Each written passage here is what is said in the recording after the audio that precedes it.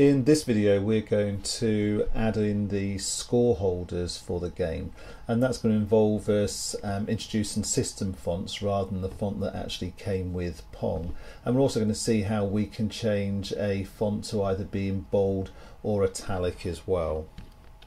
Okay, so let's print these scores to the screen. So somewhere I need a variable to store um, the score. So I want to set it in a list. So score, left score first, and second score second, or right score second.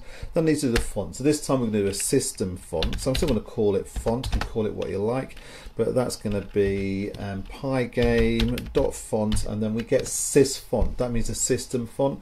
You just put in the name of the true type font that you've got in your system. I'm going to use Norasi, which is a, a, a font that you get um, on Linux. Um, you can use any one on your system, New Times Roman or whatever. I'm going to make it size 60. I want to make it bold, even though this font doesn't look good in bold, but it shows, um, shows what to do. So fonts, the name, and I want to go for set bold. You can see here I can set bold, I can set italic, um, in fact, let's just start that. I can set underline as well. But anyway, I'm setting bold, and all I've got to do is say make it true. If I wanted to get rid of that later on, I could obviously set that false. So now we've done that, we can now write um, our scores to the screen using that font, in this case Norasi Bold. So what am I going to do? Well, I'm going to have um, left score and I'm going to um, that's going to be font remember we're going to have to render that font we're going to have to put our message so our string so in this case we're going to do that it's going to be uh, make it a string because it's a number that's going to be score position zero. And then I want to anti-alias it um, makes it nice and smooth.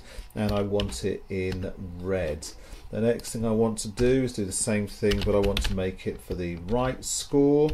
Um, it's going to be exactly the same this, so font dot render.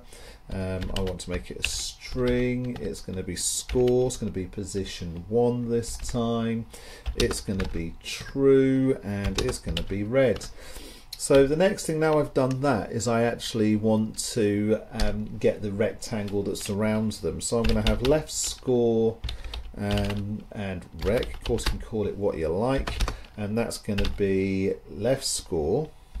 And then we're going to use dot get rec, which is a variable that comes with all of those, as I mentioned in the previous um, video.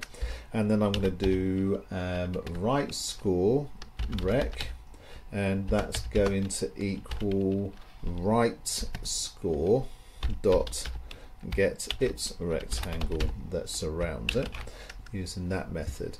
The next thing is I want to get the center of each of those rectangles for where I position um, the font. So I'm going to do um, left score rec dot center and I want that one to be at 40 comma 40 or x40 y40 40 across 40 down. And then I want whoops I want right score rec dot center. And I want to be that one at 600 across and 40 down. So now we've done that, all we've got to do is blit them to the screen. Same thing for each. So screen dot blit. I still don't know what that means. I should look it up before the next video. I'm not promising I will. And that's going to be the left score that I print. And for its position, we're going to use left score rec. And then we want to blit to the screen the right score and where do I want to be? I want to be at right score rec.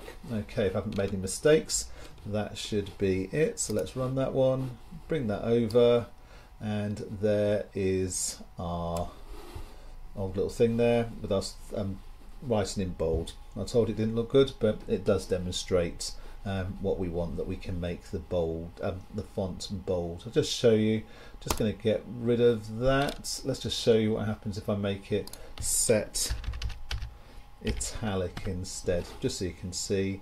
Let's run that. There you go. It's not no longer bold, but it's uh, in that italic position. I hope that you found this video helpful. There's a link to the code in the description below. Stay in infield with Winfield.